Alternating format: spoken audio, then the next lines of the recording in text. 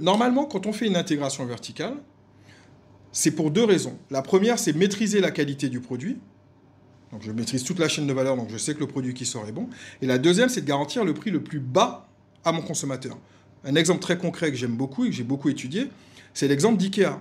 IKEA a 50 000 hectares de forêt pour vendre des meubles en bois en kit.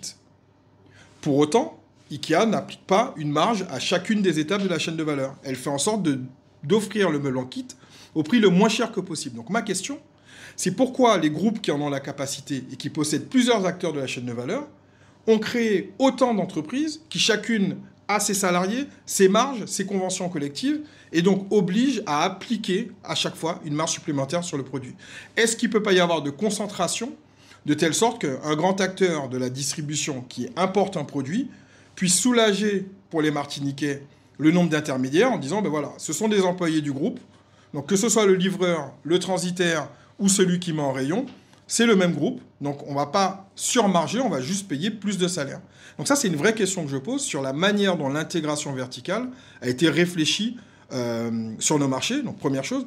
Et la seconde, c'est est-ce qu'on est à chacune des étapes de la chaîne dans une vraie situation de démocratie économique, ou est-ce qu'il y a des monopoles et des personnes qui finalement euh, se sont rendus indispensables et les concurrents sont obligés de passer par moi parce que je suis le ou l'un des deux grossistes de la place le ou l'un des deux transitaires de la place, etc. etc. C'est des modèles qui ont été euh, euh, challengés lors du rapport de Johnny Adja, que, j'ai lu et que j'invite chacun à, lire de manière synthétique ou, exhaustive. Et, vraiment, il y a des questions qui se posent. Alors, je veux bien qu'on nous challenge sur l'octroi de mer et qu'on essaie de comprendre. On a des éléments beaucoup plus didactiques, on se le disait un peu en off tout à l'heure, c'est compliqué à, appréhender pour certaines personnes, donc on va essayer d'être beaucoup plus clair dans, dans l'explication là-dessus. Mais il faut que tout le monde soit beaucoup plus clair sur tout. Parce que si on en revient à la revendication euh, récente d'aligner les prix sur la France hexagonale, euh, un des moyens d'y voir plus clair et de mettre en place tout cela, c'est de savoir combien coûte le fret. Euh, il y a des mécanismes de fret qui font que la marchandise peut être très chère quand elle arrive ici. Quels sont les transitaires? Quelle est la marge de chacun? À partir de combien et de quand euh, s'applique l'octroi de mer? Et sans rentrer dans des tergiversations euh, beaucoup plus longues, moi je challenge et je lance un, pas un défi, mais un appel à l'ensemble des acteurs de, la chaîne. On va euh, créer ou monter des, des, discussions autour de, à nouveau autour des prix. Prenons 30 produits. 30. Des produits que consomment les Martiniquais. Décortiquons chacun des produits avec à chaque fois, chaque acteur de la chaîne qui, de manière transparente, dit là je prends ça, là je prends ça, là je prends ça, là je prends ça.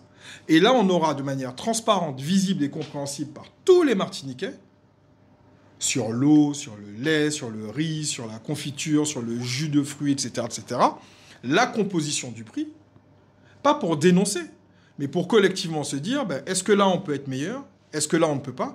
Et si à la fin de la journée, on se rend compte que chacun a fait le maximum d'efforts et qu'on n'y est toujours pas au fameux alignement, même si pour moi, ce n'est pas, pas le but ultime, mais bon, euh, si on n'arrive pas à baisser les prix de manière très très euh, sensible, là, il y a quand même une chose, c'est que la continuité territoriale qui s'opère avec la Corse euh, doit s'opérer avec la Martinique de manière aussi puissante pour compenser ces 6000 et quelques kilomètres qui nous séparent de l'Hexagone, il faut que l'État vienne à notre aide, notamment sur le fret, pour compenser finalement les frais d'approche, euh, les coûts d'approche euh, d'une livraison de produits de l'Hexagone vers la Martinique.